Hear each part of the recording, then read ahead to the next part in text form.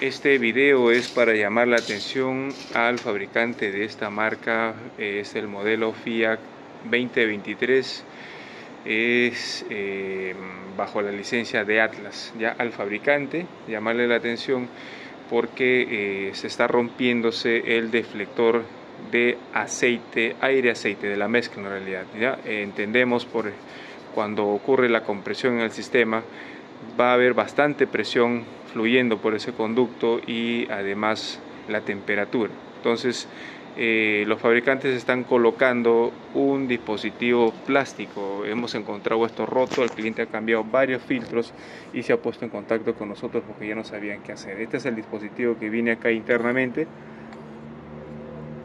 porque ahí, ahí internamente está el orificio, el orificio para la salida de aire aceite. Cuando nosotros cargamos el tornillo, viene a salir por ese orificio que está ahí.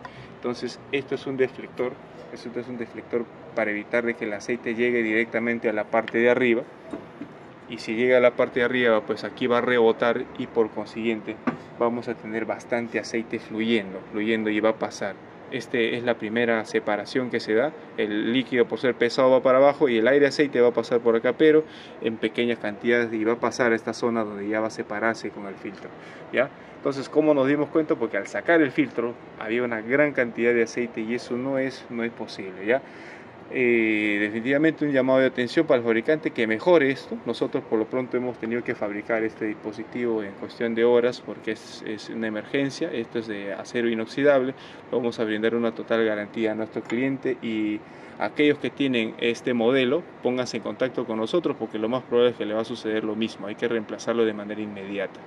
Un llamado de atención para los amigos fabricantes. Esta es esta pieza plástica, no entiendo qué, tipo de lesión será, pero, o qué tipo de material, pero se ve muy, muy blanda en realidad y no resiste, no resiste, se acaba de romper, este equipo tiene 2000 horas de trabajo, por favor hay que corregir eso de inmediato y a todos nuestros clientes definitivamente los vamos a tener que reemplazar ese dispositivo de manera inmediata. Si ustedes tienen un modelo de estos, pónganse en contacto con nosotros para poder brindarles una solución de inmediato. Esto va a ir ahí, ¿ya? Correcto, lo vamos a asegurar.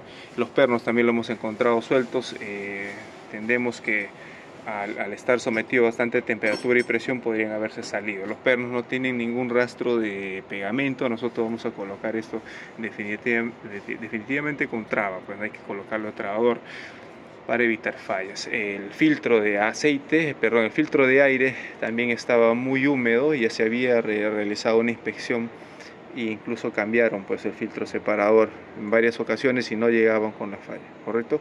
Este es el problema. Pónganse en contacto con nosotros y síganos para ver más contenido similar. Estamos como siempre apoyando y dando solución a todos los técnicos también que tengan estos equipos. Ya saben qué hacer, ya saben dónde está la falla que vaya a ocurrir cuando perdemos bastante eh, aceite, cuando el nivel de aceite disminuye de manera rápida. Hemos este, retirado también esto aquí, el elemento de control de carga para poder realizar el, mantenimiento. ¿ya? Porque pensábamos que el problema era por aquí, pero ni imaginarse en realidad que va a ser pues en, en la zona de separación. Así es como queda, ya está, eh, ya está fijado. Entonces la mezcla aire-aceite va a salir por acá y la idea es chocar en la pared para evitar que todo venga para arriba. Entonces aquí va a suceder la primera separación. Esto va a generar esto el aceite se queda en la parte de abajo, se recupera nuevamente para el sistema y el aire va a pasar por acá. Este es como un preseparador. Muy bien, vamos a colocarlo ahora.